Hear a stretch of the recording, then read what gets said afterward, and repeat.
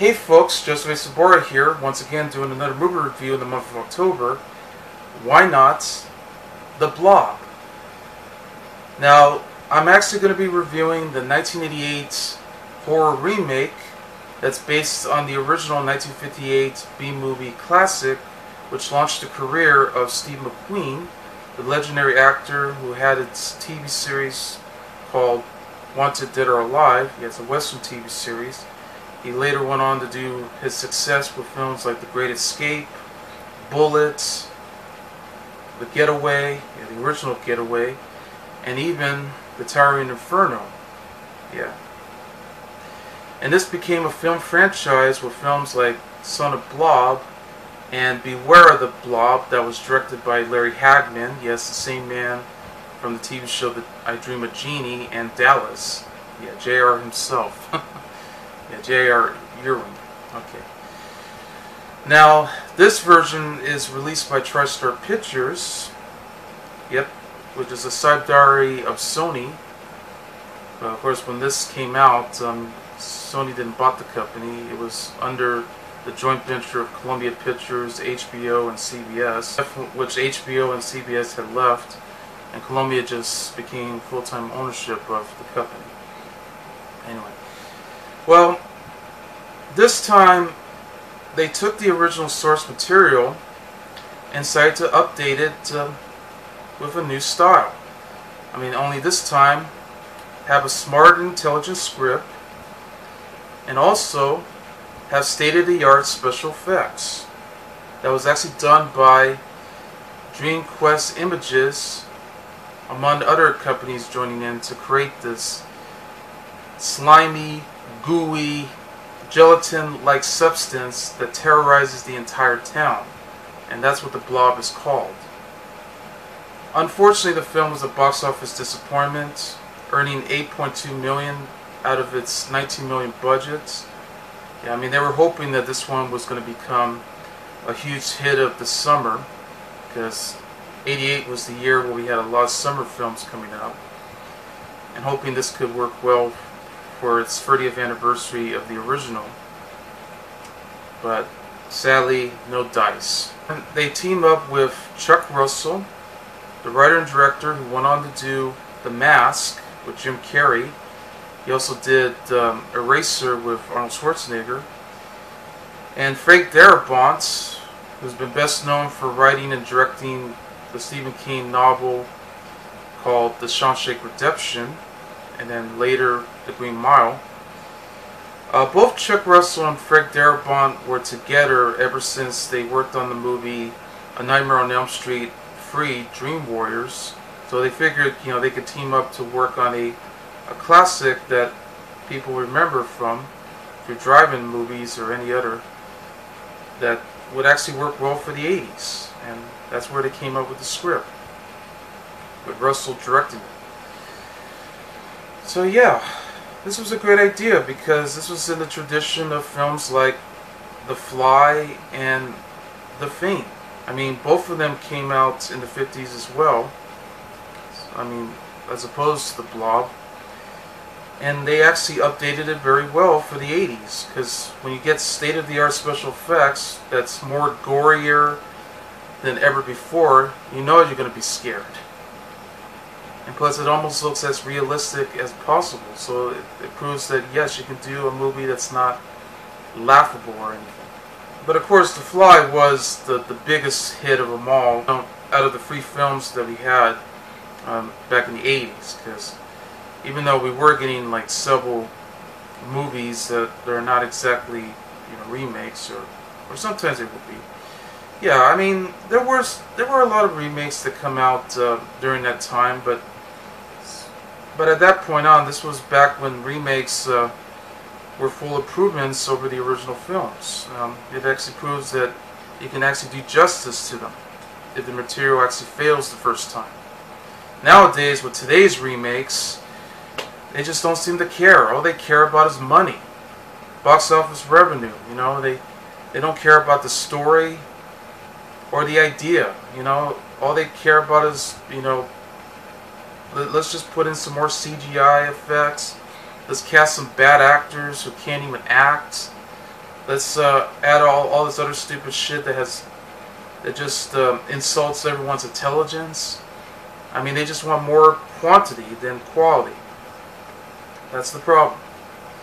So a movie like The Blob, as well as uh, The Fly and and The Thing, really does prove something that you can update something that works. And sadly, I, I wish we had films like this these days. But I know it's hard because I know they're trying to prove something for for a new generation to come. Apparently, they are going to remake this again. No need. I'm sorry. I know Rob Zombie was going to do one before, but that never happened. And then they were going to get Simon West, um, the same man who gave us uh, Con Air, to, to do this. So I don't know how that's going to happen. And they were going to get Samuel Jackson to star. There's no way that that film's going to top the 1988 film yet alone the 1950s version, but whatever. Um, also to note that I think this is one of the better remakes than than the 1958 original because of the idea. Like, you can actually make it more scarier than ever. Plus, with a nice cast joining in, I mean, some new, some cast members who would later become, you know, famous for other films, you know, like Kevin Dillon, who went on to do uh, No Escape, which was now known as Escape from Absolom. Or Shawnee Smith uh, went on to do the movie Who's Harry Crumb with John Candy, released by the same studio. And she would later went on to do uh, the Saw films, but she was also in the TV series Becker with uh, Ted Danson. She plays the dim-witted receptionist. Yeah. you also got Beau uh, Billingslea, been best known for doing voice acting of several anime shows like Cowboy Bebop, as well as Digimon and Naruto, among others. So it's nice to see that he's actually playing a role in the film. Art LaFleur, which, interesting enough, he was from the movie The Sandlot. I'm wearing that t-shirt, by the way. So, yeah, he actually plays uh, Babe Ruth um, in that film. But he's he's the father in this one. And, he also got Candy Clark, yeah, from Q the Winged Serpent and Blue Thunder, as well as um, Buffy the Vampire Slayer. yeah. So what a cast. Oh, and by the way, the film is going to be released um, next week on Blu-ray. They're going to have a collector's edition Scream Factory release with tons of features joining in. So I can't wait to see that because it got released previously by Twilight Time, went out of print uh, a few years ago. Because I know that's how Twilight Time is. They always charge you like 30 bucks to get this, and then, but then next thing you know, they sold out really quickly. So that that's a shame. But I'm just happy to see that it's finally going to get another Blu-ray release, and hopefully this will do justice. So let's review the remake. Stars Kevin Dillon, Shawnee Smith, Donovan Leitch, Jeffrey DeMunn, Candy Clark, Joe Seneca, Del Close, Paul McCrane, Robert Axelrod, Beau Billingslea, Michael Kenworthy, Douglas Emerson, Art LaFleur, Sharon Spelman, Bill Moseley, you know, from the Texas Chainsaw Massacre Part 2, among other films, Erika Eleniak, Playboy Playmates, went on to do the TV series Baywatch, uh, the Steven Seagal film Under Siege, and of course the remake of the Beverly Hillbillies, uh, based on the TV series.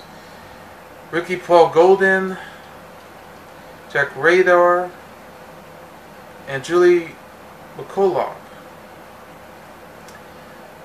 It's written by Chuck Russell along with Frank Darabont that's based on the original Blob by Theodore Simonson and Kay Linaker and it's directed by, once again, Chuck Russell.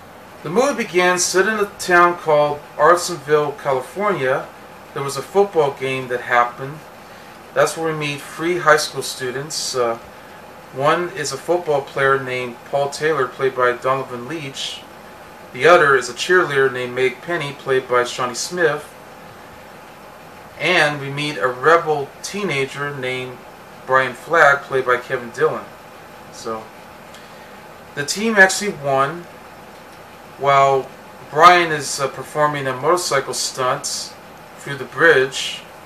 Didn't quite make it, but the old man actually cheered on, because at least he tried.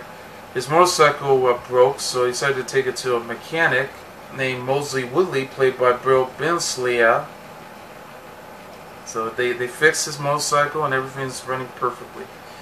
Um, so during that night, just when uh, Meg and Paul were going on a date, a meteorite that came from the sky suddenly crashes uh, at town.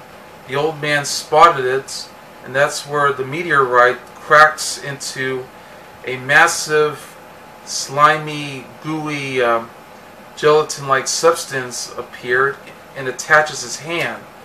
He tries to cut it off with a knife, but apparently he did cut himself accidentally, so he couldn't take it off.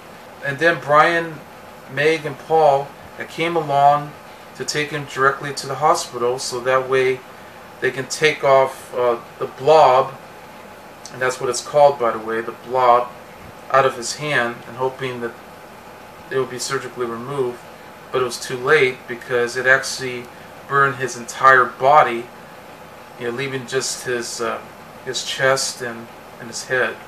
The blob appears uh, directly from the next room just when Paul was ready to call the police, and it grew larger and bigger than ever before, and starts to take Paul, squeeze him, and being sucked into it, oozing it out, just when May came and and screams and, and tries to take uh, Paul out of the, the blob, but his arm suddenly came out, and yeah, with with all the blood and, and guts going around, squeezing him, and she was knocked unconscious, holding the arm of Paul, till um, she was being taken back home by her parents which is a pharmacist named Tom Penny, played by Art LaFleur, which he earlier had met uh, Paul.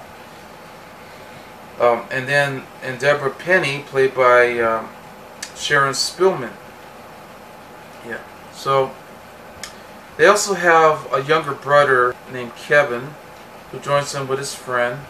Um, and Kevin is uh, played by uh, Michael Kenworthy. So He wanted to go out to, to see a movie with his friend. It's a horror slasher film. That's like uh, Friday the 13th mixed in with the Texas Chainsaw Massacre. Yeah, you get a, a serial killer with a hockey mask and a chainsaw, you know, going around killing people. You know, teenagers.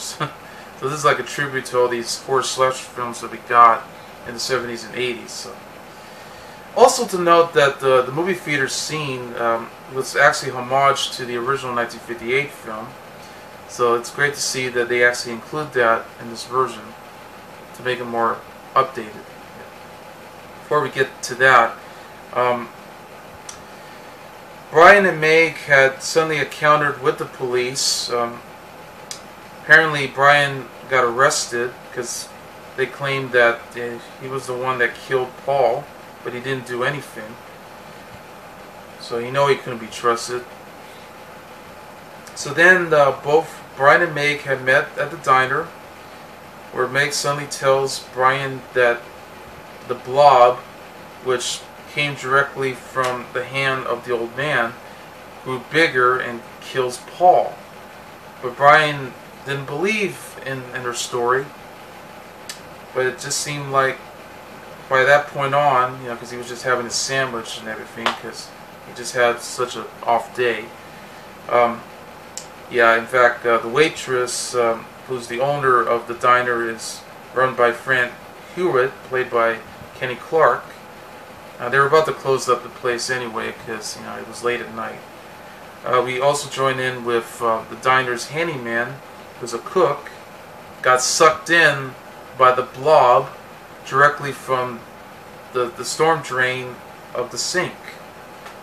And they just pulled them in straight into it. and then the blob suddenly splashes up up on top of the the ceiling, and it just continues to, to grow and starts attacking both Fran as well as Brian and Meg. So they went straight to the freezer so that way they can get away from the blob. And the blob actually went straight into the the under um, door of of the freezer, but only burns like half of the like tiny bits of it. So yeah, it came like so it became ice because we then learned that the freezer can kill a blob. This is going to be spoilers. Uh, Brian and Meg had escaped, uh, hoping that the blob had continued. Garcia, he actually uh, knocked uh, knocked the strawberry jam, and then um, the blob uh, suddenly went straight from the sewers because it went underneath, and just popped up and and actually went straight into the telephone booth where Fran was about to call the sheriff, but it was too late because he was squeezed completely by the blob, and yeah, then blood and, and guts uh, and gory as the blob grows bigger and bigger, and it starts to go straight into the sewers once again all over town. So it's very powerful. So both Meg and Brian have returned to the police station to find out what's going on with this blob that's appearing around town until they're being taken by a military operation that's being led by Dr. Meadows. I mean, he ordered the town with the two teens being quarantined, so they want to take them directly to the vans to check to see if they're not infected. And they're about to go after the the blob so that way they can collect it. I mean, because they've been trying to find this uh, this meteorite for years. Brian escapes. Meg was taken to town, which then she learns that her younger brother Kevin is missing. Which, yep, he went to see the movie uh, with his best friend, and that's when the blob suddenly came directly from the air bends, attacked the projectionists and then the theater owners, and, and it starts to attack the whole audience uh, around, including the guy, yeah, the one who's like talking uh, through the movie rudely, yeah. And he was the one that actually starts to throw stuff at Kevin, telling him to be quiet. And yeah, he got what he deserved. So May came to the rescue, uh, picks up Kevin and his friend, so they went straight into the sewers uh, to, to get away from the blob, but it continues uh, to hit under the sewer and actually picks up Kevin's friend, so it was killed. Military uh, guys out there, you know, dressing up with these uh, these protective suits that they had to wear. Um, they came in and and then um, and they were ready to shoot and contaminated the blob just when Brian was about to pick up uh, Meg and Kevin out of there so they'd be safe to go into another area. But actually, both uh, Meg and Brian were joining in with um, one of the members. Um, they were stuck in the sewers and they're about to find a way out. But Dr. Meadows decided uh, let's just um, let's just block the entire sewer. So just bringing the the the band to um, cover it because they decided not to take uh, Brian and Meg out of there, not even the other guy. So yeah, he Dr. Meadows was an asshole. Should have never done that.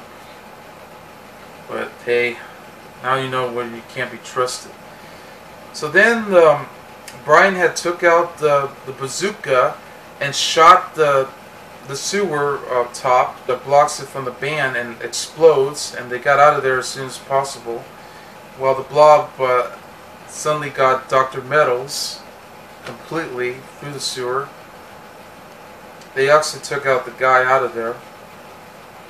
And then the rest of the military uh, decided to put in all these uh, bombs to destroy the blob, but then, of course, as uh, Brian said, we pissed it off. So it starts to grow even larger than ever before and starts to attack everyone in town, trying to find a safe place to get away from it.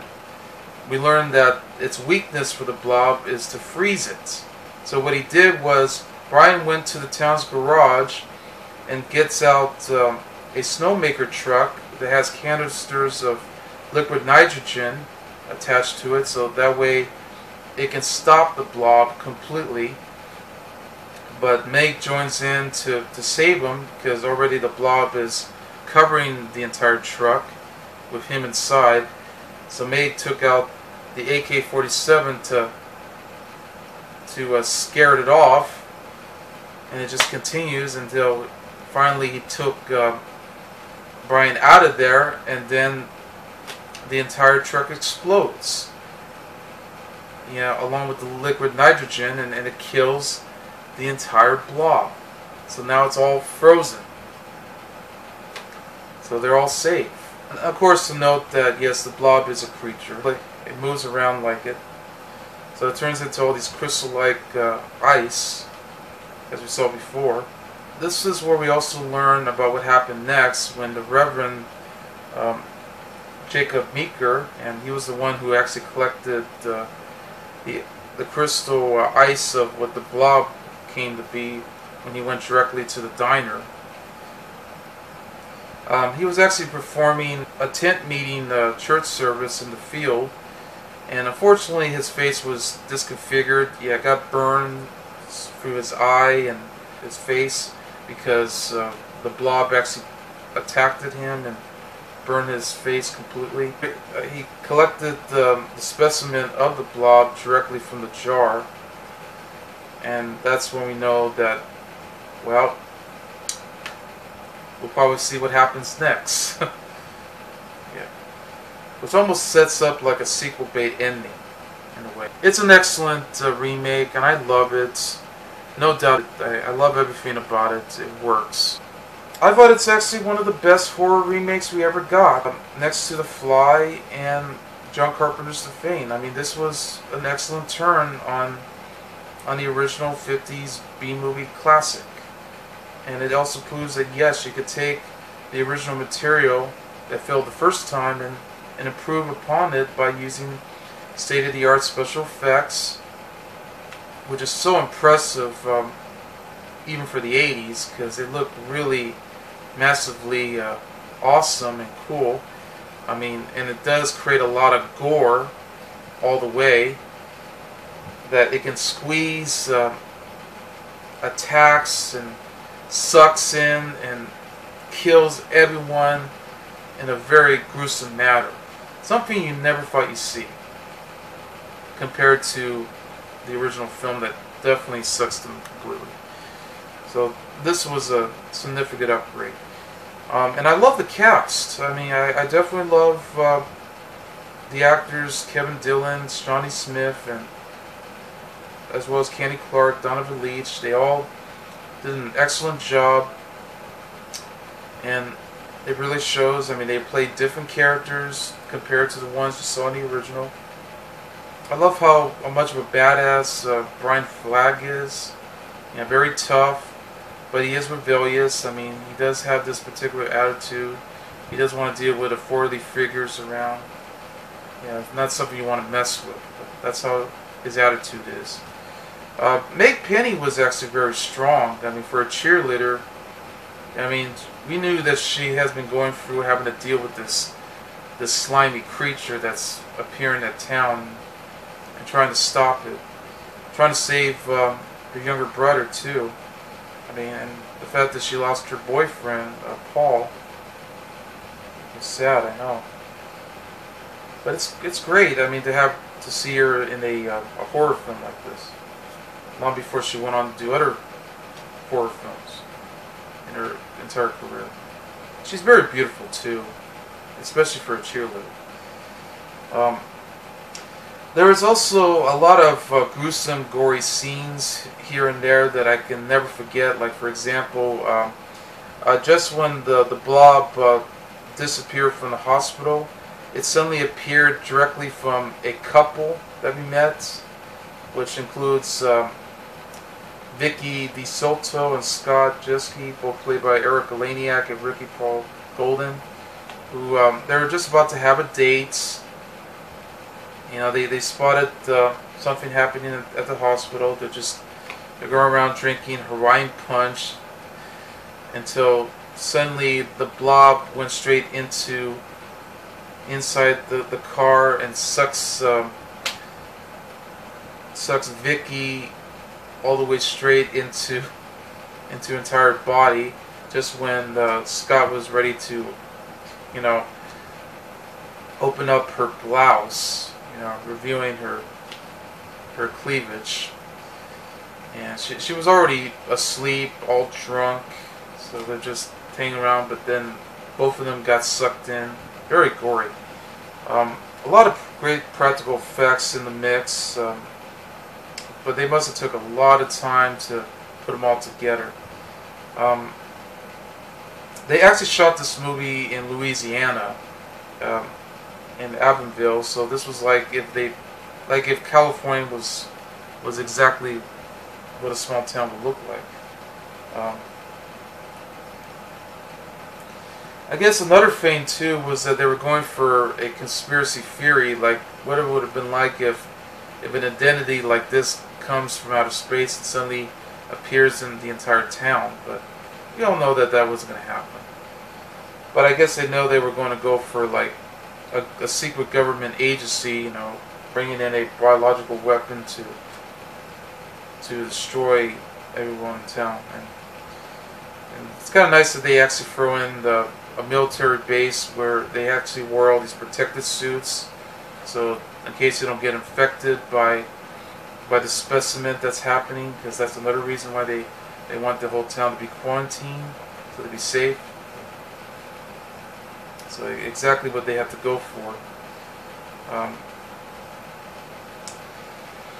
um, but yeah, the film could have done so well. Um, it would have worked well for the summer, but I guess if the film had came out in October, I think that would have been better. That's the remake of The Blob from 1988, and I give the movie five stars. I'm Joseph A. Sobora, and I'll see you later. Bye.